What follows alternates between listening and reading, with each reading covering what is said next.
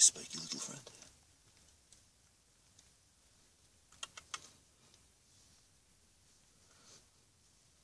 It's okay, I'm not gonna hurt you. I'm gonna go and have a look at your other spiky little friend. Where's he gone?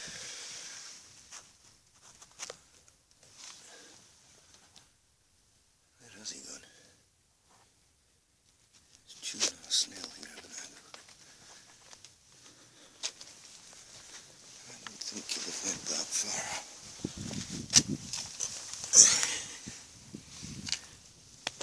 He's not in there anymore. And he is, he's well hidden.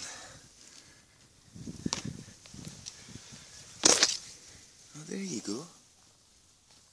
Hello there. Hello there.